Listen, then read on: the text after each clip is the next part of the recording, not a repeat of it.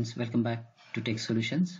In today's video, we will see how to turn on or off the word count in Microsoft Word. So let's let's see this is my file where I have this one page data where I want to know how many words are there in this particular document. For that, this is the status bar of Microsoft Word at the bottom. Here, generally on the left hand side, you can see the word count. If you don't see that, then simply right click this custom I mean status bar and it will open the customized status bar settings for you.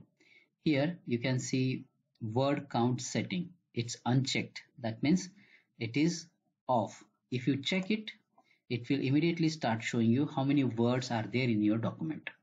So now if you don't see your word count uh, at the bottom on a status bar, simply right click it, right click the status bar and check this particular property and you can start seeing the words. Similarly, there are other properties like page number. You can see line number. You want to know which line you are at the moment your cursor is it will show you and all the different settings are there so that's it from this tutorial friends on how to turn on or off your word count in Microsoft Word.